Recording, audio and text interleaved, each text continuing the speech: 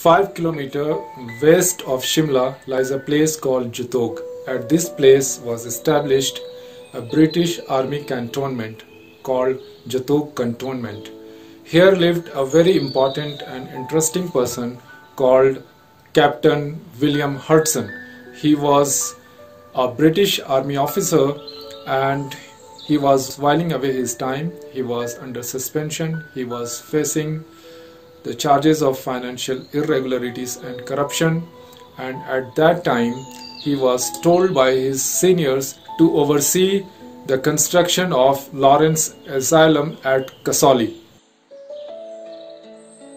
Then the revolt of 1857 started at Meerut, and that changed the course of the career of Captain Hodson. The British Commander in Chief George Anson, who was at Shimla at that time till May 12, told Captain Hodson to raise and command a new regiment of 2000 irregular cavalrymen. He told him to march to Delhi. Hodson complied with the order and he raised a cavalry of 2000 men.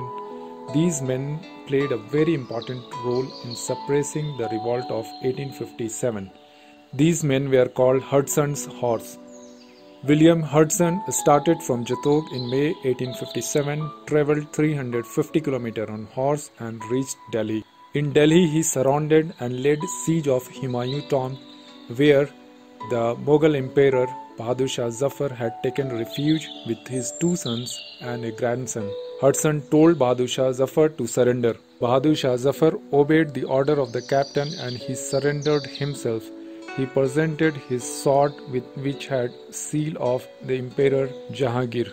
But the two sons of Bahadur Shah Zafar, Mirza Mughal and Mirza Sultan and his grandson Abu Bakr were captured and slaughtered at Khooni Darwaza at Bahadur Shah Zafar Road.